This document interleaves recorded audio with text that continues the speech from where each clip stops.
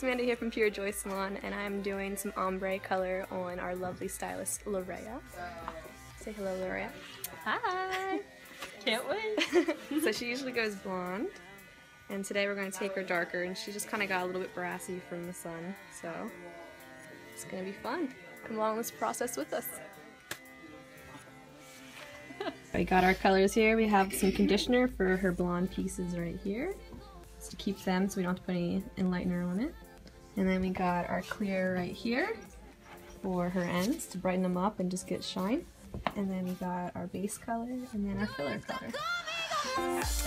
So, um, this is me and Amanda.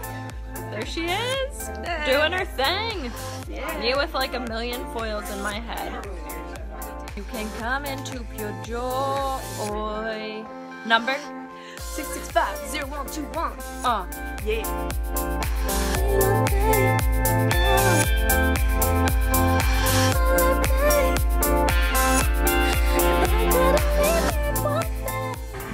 Okay, so this is the final look of Lorea's new hair. As you can see, there's some dark in there, but her blonde is still in there from her previous color. Call me on your cell phone Late night when you need my love And I know when that holiday That could only mean one thing oh. I love it. Thank you. Thanks for watching, guys.